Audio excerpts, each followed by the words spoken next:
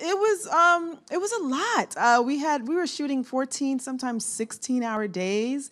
Um, literally getting up at four o'clock in the morning. Not even getting up, sorry.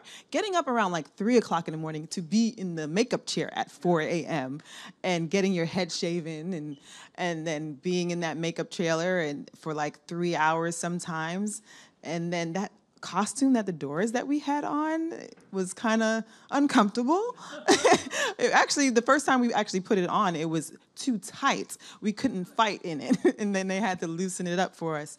But it was a it was a lot. It was a lot that we went through. But I, I, me, myself, and I'm sure everybody else, we are satisfied with how everybody oh reacted from it. Yeah, I'm glad so many people loved it and enjoyed it, and we broke all these records. I am just, I'm Unbelievable, so right? humbled. Yeah, yeah.